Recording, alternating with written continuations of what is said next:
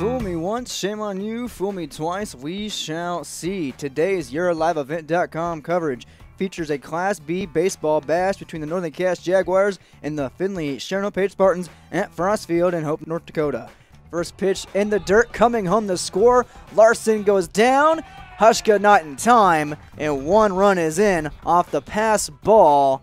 One to nothing. Northern Cass leads Finley Sharon Page. Busnick in trouble of walking in a run.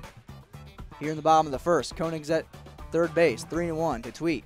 That's up high. It is one to one here at Frost Field. Another payoff pitch from Hushka to Busnick. Strike three, looking. Busnick goes down on strikes the backwards K, the first strikeout of the day for Hayden Hushka.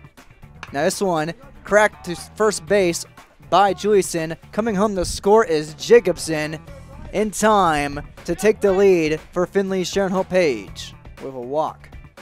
This one up the hole, past the diving shortstop, coming home to score. Owen Zerfus rounding third is Mitchell. He stumbles in, head first slide. He is out. Takes the 3 and 1 from Dow's.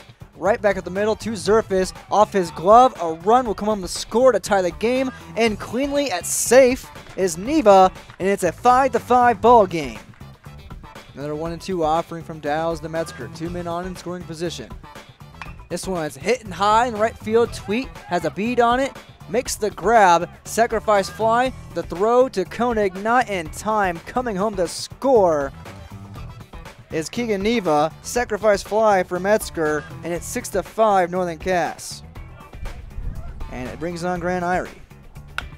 Irie immediately puts it out and a diving catch at shortstop to make the final out of the game and seals the Northern Cass comeback.